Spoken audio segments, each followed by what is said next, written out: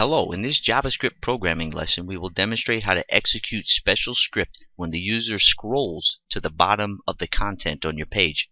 You can see this effect right now if you have a Facebook account and you scroll down your Facebook timeline. Facebook executes new AJAX requests each time you scroll to the bottom of the page content. And what it does is loads in more dynamic data to the page if and only if the user happens to scroll down to the bottom then it just automatically sends an AJAX request to load in more dynamic content. And other large-scale dynamic websites also use this approach to achieve efficient database data rendering in a smart, modern way. Before we begin the lesson, let's take a look at the finished product of what we will be scripting using an HTML5 document in JavaScript today. Okay, this is the exact thing that you'll be learning how to build within this tutorial. Now what I've done is I created a large image just to be a placeholder for page content and it's about 2000 pixels high. So you can see I have a scroll bar here that appears and I have a lot of content that I can scroll in that window pane there because the content on my page is 2000 pixels high.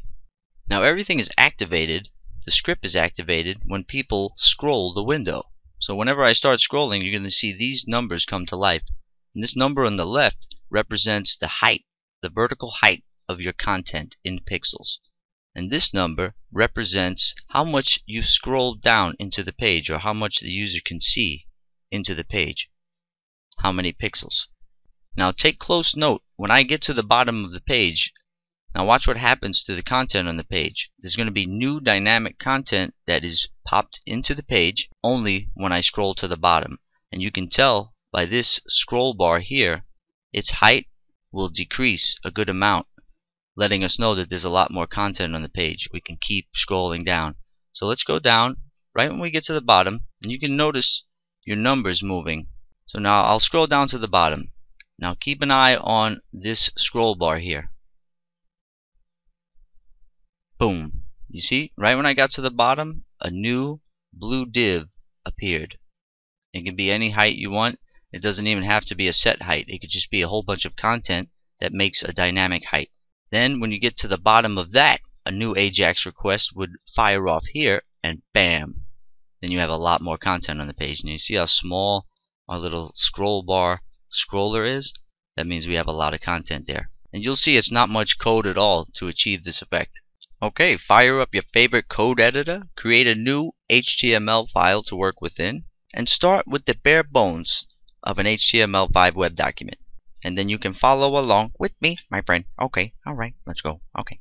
Now, in the head of the document, we're going to start a script element. Make its type, text, JavaScript, and go down a couple of lines and make sure we close our script tag.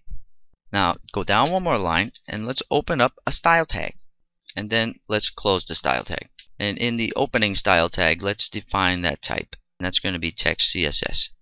Now before we script to some HTML elements and style those elements, let's put them in place. We're going to have two divs. In the first div, we're going to give an ID of status. The second div, we're going to give an ID of wrap.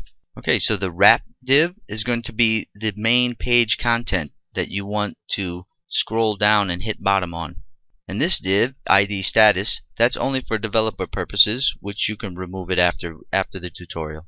Now inside of the status div, we're going to put some default values. We're just going to put a 0, the pipe, space, and another 0. And in the wrap tag as content, I'm going to put all of my web page content. And for mine, it's just a simulated image that's going to simulate my web page content. You would have a whole bunch of HTML markup or dynamic data rendered into your wrap tag, or your wrap div, rather. Now let's apply the following CSS into our style element. So what we're doing with these two lines is we're targeting the divs. And those are the two divs that we just put in place down here. ID status and ID wrap. Status has position of fixed and font size 24. And remember, you can remove this after you develop.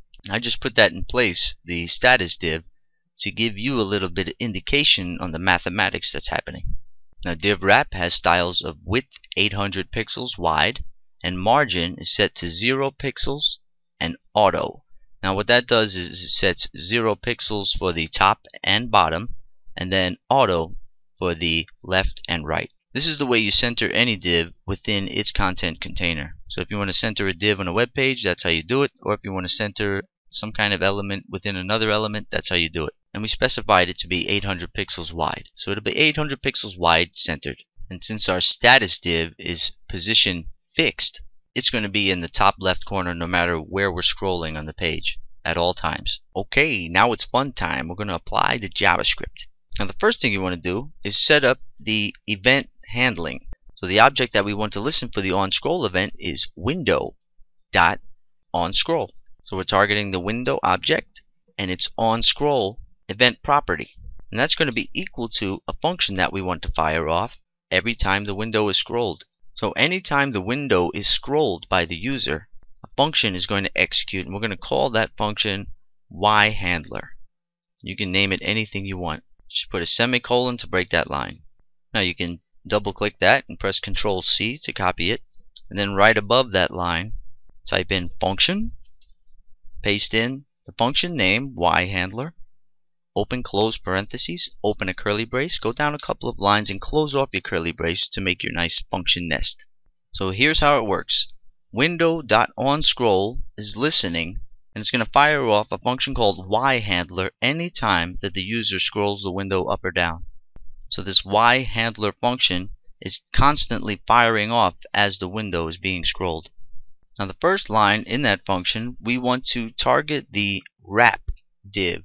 So we'll say var wrap is equal to document dot get element by ID single quote single quote close parentheses and then semicolon in between your two single quotes, you're going to put the ID that you want to target on the page, wrap. So now we have the wrap element as an object in JavaScript. Now in the next line, let's put a little comment in for ourselves. It says gets page content height. To get that, we'll create a new variable and name it content height. And that's going to be equal to the wrap object dot offset height property. And then you put a semicolon in. So you just target the wrap element on the page's offset height property to get the content height. That way you'll know in your JavaScript exactly how much content uh, pixel-wise vertically you have on the page. And it could be any dynamic number because you can load in any type of dynamic data and not be aware before the page loads of how high that content will be. So this number will arrive to you dynamically. Now in the next line, we're going to place another comment in for ourselves, and it says gets the vertical scroll position. Now to get the vertical scroll position, we'll create a variable and name it y offset. And that's going to be equal to window page y offset. So to get the vertical scroll position, you target the window object's page y offset property. This lets you know where the user is in their scrolling of your page, exactly where they are in that scroll position. Okay, now this next line is really the only tricky line here. We're going to call this var y. And that's going to be equal to y offset plus the windows dot inner height property. Now if you want to understand about window inner height and actually what value it gives you, you can go to the world of Webcraft and type in get window size and search that and it'll bring you to a an article that I wrote called JavaScript Get Window Dimensions for the browser. And you can see here the inner and outer dimensions.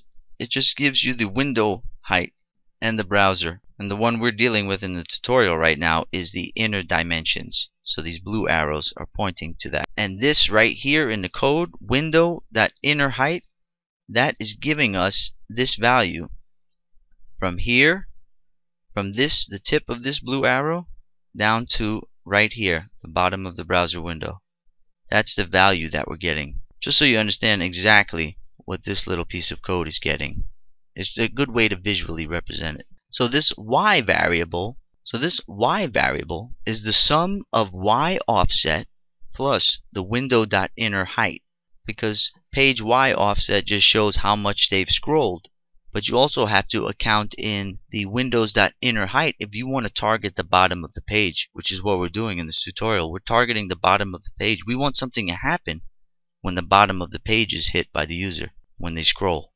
Okay, there's just a few more lines left. The next thing we're going to do is a conditional statement. And here it is. We're saying if y, the value that we attained here from our calculations, if y is greater than or equal to content height.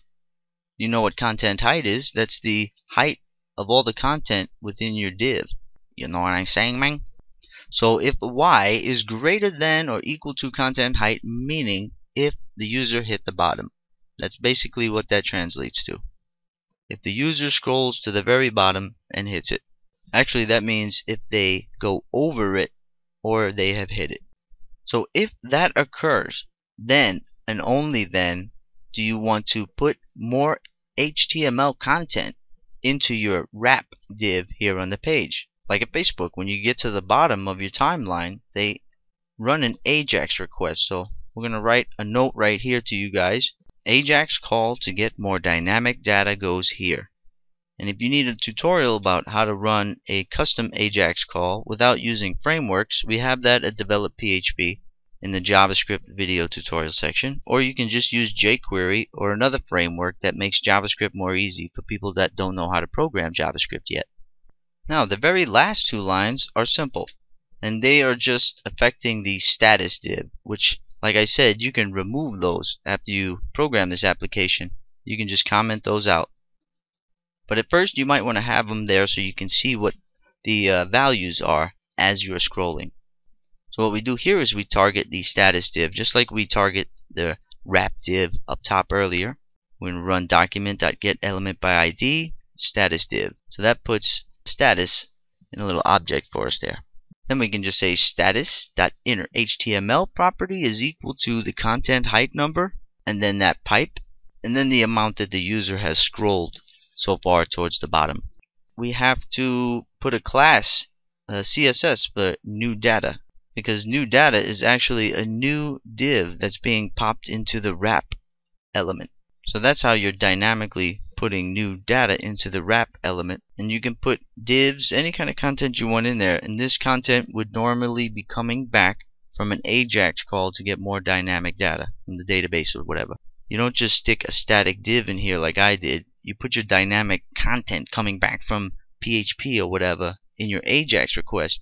That's what goes here. You got it? Each time the user hits the bottom of the page. So last thing in the CSS, let's put div class new data. We're going to target any div with a class of new data on the page. And we're going to have a few of them as much as the user keeps hitting the bottom. That's how many are going to appear. And I'm making the height. Let's just make the height 1000. Background is blue. And we gave it a little bit of margin top and bottom just to separate them from each other when they load in. Now let's run this File, Preview in Browser, Chrome. Now when we hit the bottom, watch what happens. Boom. We got a thousand more pixels worth of data to scroll through. Boom. Boom. Boom, boom, boom, boom, boom. Now look how small our little scrolly is. Look how much data we have now. Okay? So that's how it works. Now mine is static. Now yours would be connected to an AJAX request right here. Like I said, you'd put your content coming back plus equals into the wrap element. Plus equals compounds data into that inner HTML of that wrap element. If you just put an equal sign here, it would overwrite what's in there each time. You don't want that. You want plus equals so it keeps the data that's already in the wrap element and just adds more to it. Okay, so that's how it works.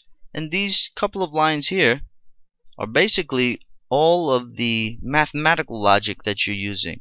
You're getting the page content height, and then you're getting the vertical scroll position that the user is at currently on the page. And then you use Y here to calculate the windows.inner height to add that to the Y offset to make sure that we're targeting the very bottom of the page in the user's browser window, no matter what their window size is. Okay, so I hope I explained all of that well enough. And if you're a beginner and you were able to grasp what we were doing here, bravo to you, because this is kind of intermediate. Alright, so I'll have this script available at developphp.com underneath the video. And I'll put a link to that uh, page of developphp in the video description at YouTube so you guys can get to it. Okay, so that is how a lot of large-scale dynamically driven websites will program JavaScript scroll bottom load dynamic content. So when the user scrolls to the bottom, you load dynamic content. And you can keep loading and loading and loading. Now, it's up to you guys to tweak this and refine it. Maybe you want to put more conditions in there to stop things from loading. Okay, that about wraps it up. I hope you guys found that helpful, and I'll see you in the next tutorial.